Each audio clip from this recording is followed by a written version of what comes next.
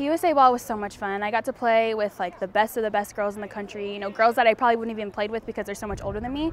So I can honestly say that I, I learned a lot. I mean, I was, me and Lauren Chamberlain were the youngest girls on the team and I got to play with people like Lauren Gibson and Valerie Arioto who were all Americans and things like that. So I would say I learned a lot and, you know, how my demeanor should be in the game when I'm failing and when I'm succeeding. I mean, I feel like I'm 20 years old. This is as good as I'm going to get as a softball player, but I just think um, over the off season, I really wanted to work on my mental game. So I just worked on my mind a lot. I just really wanted to work on being selfless and doing everything I could for my team because I would trade every accolade to have a national championship. So this year, I just really want to work on being a leader and doing everything possible to help this team win.